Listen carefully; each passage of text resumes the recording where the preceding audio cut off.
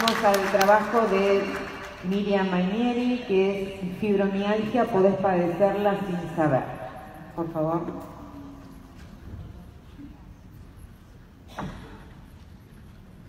Hola, bueno, muchas gracias. Bueno, lo que voy a presentar ahora es un póster.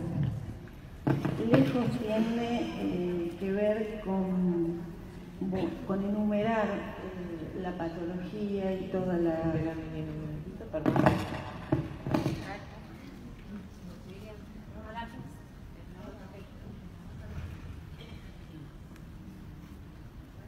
Un minutito que lo encuentren.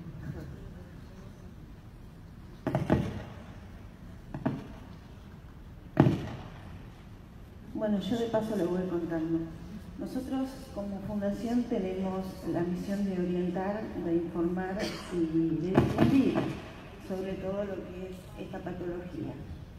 Lo venimos haciendo desde el 2015, donde realizamos la primera campaña de difusión masiva en la Argentina, eh, en el que se llamó Hablemos de Fibromialgia. En el 2016 fue Vamos a ver qué pasa con el micrófono, ¿sí?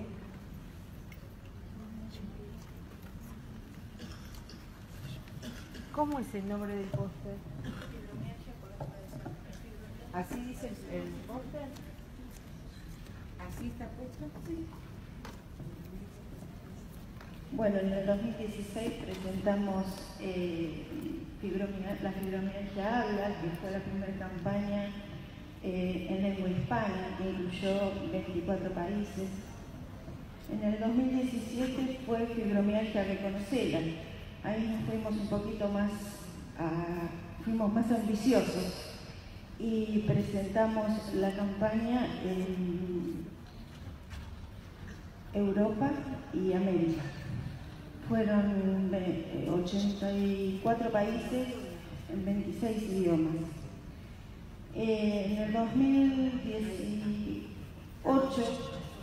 fue Fibromialgia Creando Conciencia. Ya fue una campaña mundial en varios idiomas. Y este año se presentó E. ¿Por qué E? E es una interjección que se escucha, que se entiende en todos los idiomas. Si ustedes la buscan en Google, van a entender que es la única palabra, la única interjección que en, cualquier idioma lo pueden entender. Cuesta mucho ponerle un nombre a una campaña. Las campañas nuestras duran un año. O sea, desde el 12 de mayo que se presentan hasta el 11 de mayo del año siguiente.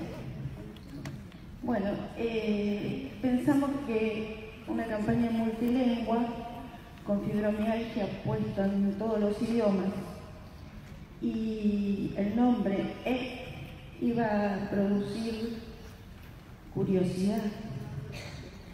Acá Tini estuvo presente en la presentación.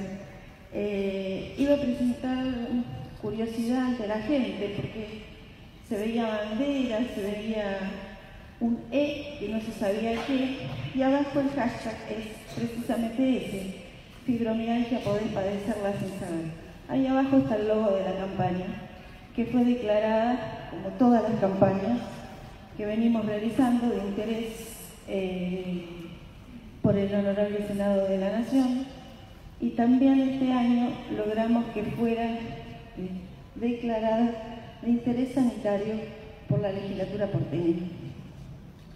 Bueno, el, tema del póster eh, se hizo así, ahí está en forma vertical, como se había pedido.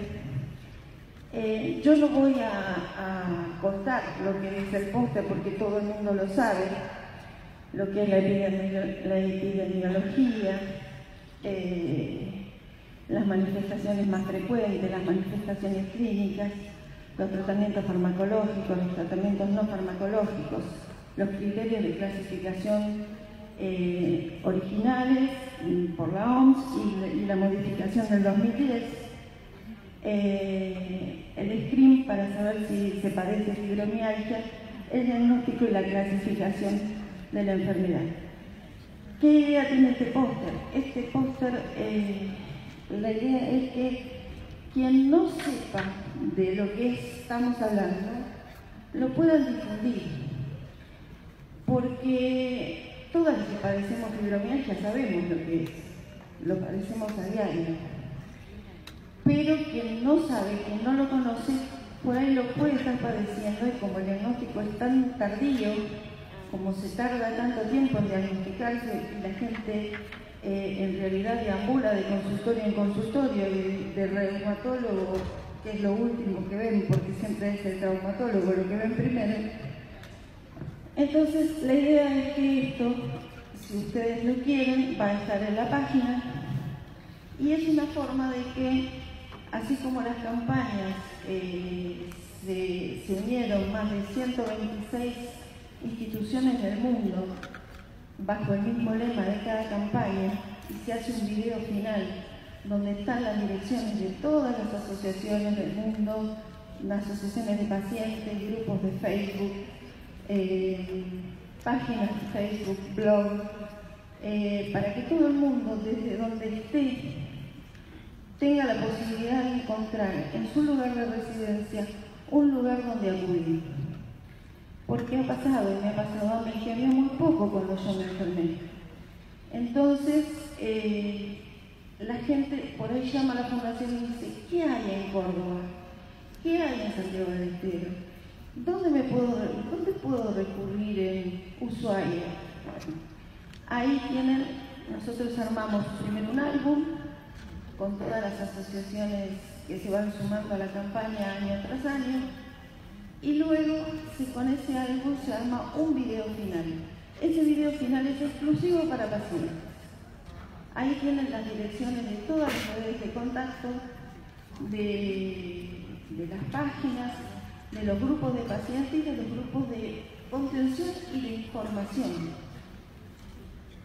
Yo lo que sugiero es que siempre se remitan a fuentes fehacientes, porque eh, hay muchas cosas que circulan en Internet que por ahí no es lo que realmente eh, refleja lo que es este, esta patología.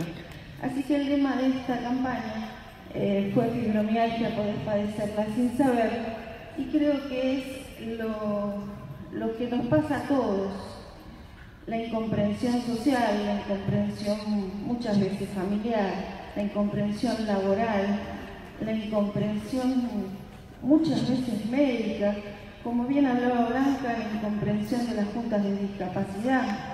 Por eso yo ayer insistía en el tema de las denuncias por malos tratos. No voy a decir el nombre de quién, pero hay una eh, compañera que muchas de ustedes conocen, eh, que está en un grupo de fibromialgia y está atravesando un doloroso proceso porque la han cesanteado, la han dejado sin trabajo a un año de jubilarse por padecer fibromialgia. Entonces estos casos hay que revertirlos. Bueno, estos casos hay que revertirlos, por eso la idea es eh, que esto lo puedan utilizar en donde quieran.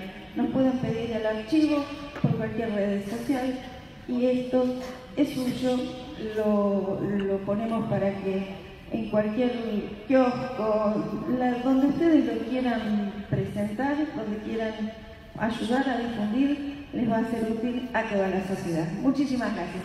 Muchas gracias. Bueno, y ahora pasamos al, último, al tercero y último trabajo. Eh,